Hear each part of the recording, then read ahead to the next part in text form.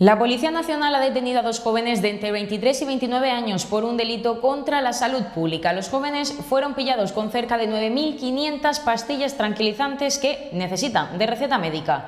Para conseguir estos fármacos, los grupos criminales cuentan con personas que se dedican a comprárselos a quienes lo tienen prescrito. La Policía Nacional constata que en los últimos años ha aumentado su venta.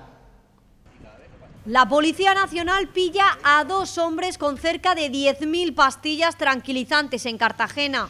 El primer detenido huyó al ver a los agentes mientras tiraba una bolsa con 480 cajas de ribotril y el segundo con cerca de 9.000 pastillas de ribotril y 400 de tranquimacín. Son medicamentos pertenecientes al grupo de las benzodiazepinas que actúan sobre el sistema nervioso central como relajantes, sedantes e hipnóticos. En los últimos años ha aumentado su venta dirigida al mercado de las drogas para ser consumido solo con alcohol o mezclado con otros estupefacientes una práctica adictiva y muy peligrosa. Sin prescripción médica siempre supone un riesgo para la salud tomarlos. Puede producir desde mareos, sueño, cansancio, hipotensión hasta incluso un coma por depresión respiratoria. Por eso es imprescindible la prescripción médica. Sí, las benzodiazepinas se dispensan bajo receta en los centros de salud de atención primaria, lógicamente por un médico. Y para conseguirlos muchos grupos criminales cuentan con personas que se dedican a comprárselos a quienes lo tienen prescrito,